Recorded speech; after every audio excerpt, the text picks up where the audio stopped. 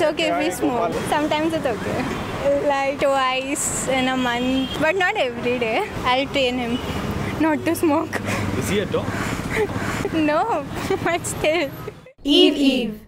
I don't mind if it, if he smokes. Like, sometimes it's good. He should not get, get addicted to it. What will you do to make him quit? If he feels lonely, then he will start smoking and all. I won't leave him like that.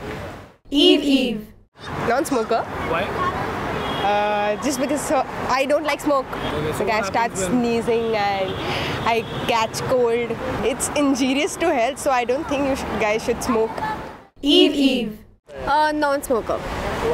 Uh, I was an asthmatic, so like I know what it's like. So no. One of the reason they have asthma, and besides air pollution, so yeah.